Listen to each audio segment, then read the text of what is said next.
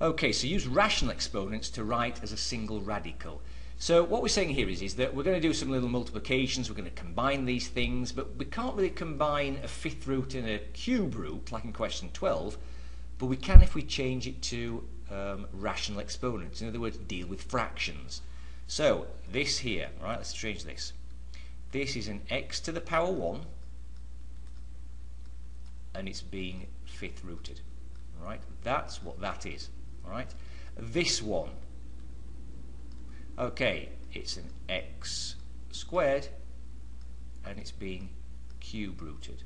Okay, so there we go. I've just changed those radicals to be rational exponents. In other words, fractions. Okay. Now remember, when you multiply, you add. So what I'm really doing is I'm adding these two exponents. All right, two thirds.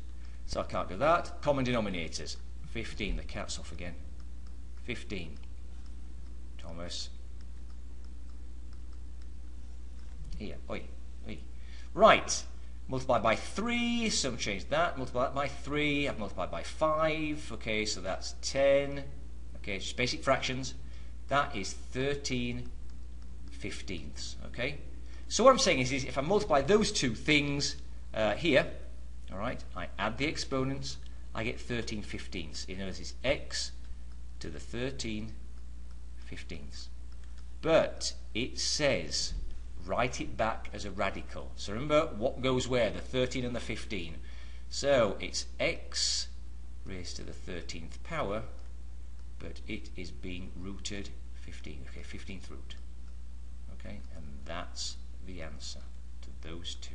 Okay, and that's pretty much it for all of these. Um, anything different? Really, I can't see anything different.